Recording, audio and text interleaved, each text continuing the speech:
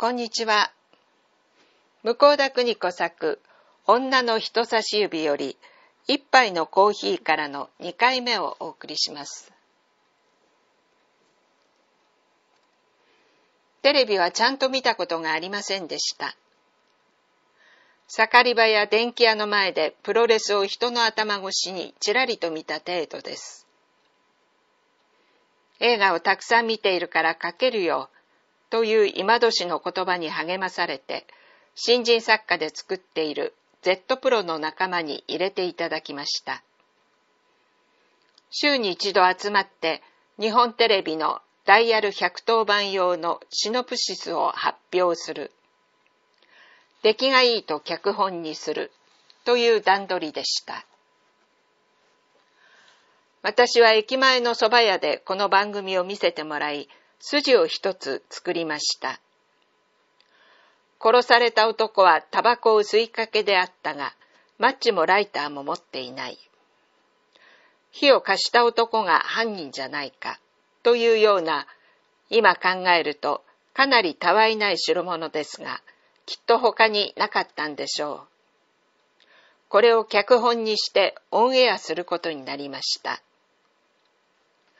と言っても、私は犯罪音痴兼医会訓導音痴で、部長刑事と刑事部長とどっちが偉いのか、何度レクチャーを受けても忘れる始末なので、同じ仲間の先輩格、服部氏が共作者として加わってくださいました。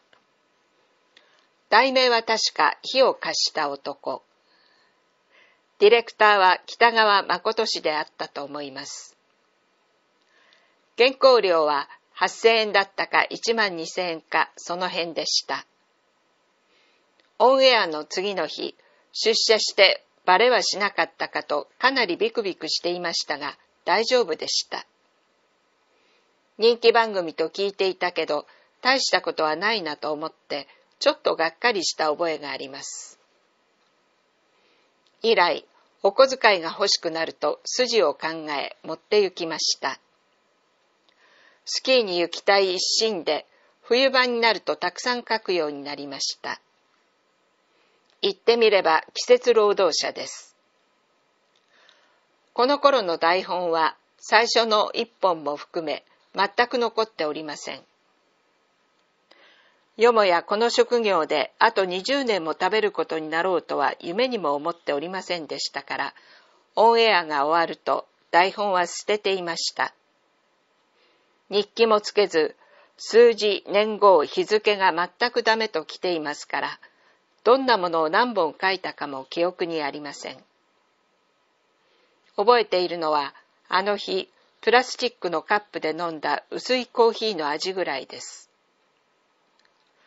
あの時、今年にごちそうにならなかったら、格別書くことが好きでもなかった私は、今頃子供の大学入試に頭を抱える教育ママになっていたように思います。歌の文句にある夢の花は私の場合まだまだ開いておりませんがコーヒーの飲みすぎで夜型となり夜中いつまでも起きて騒ぐのが癖になりました。どうもあの歌がいけなかったようです。年代は覚えていませんがフラフープが流行っていました。黄色いさくらんぼが街に流れていたような気がします。このすぐ後、皇太子が正田美智子さんと結婚されて、我が家もテレビを買いました。安保は次の年でした。この頃の私の財産は健康と好奇心だけでありました。これで向田邦子作一杯のコーヒーからは終了です。ありがとうございました。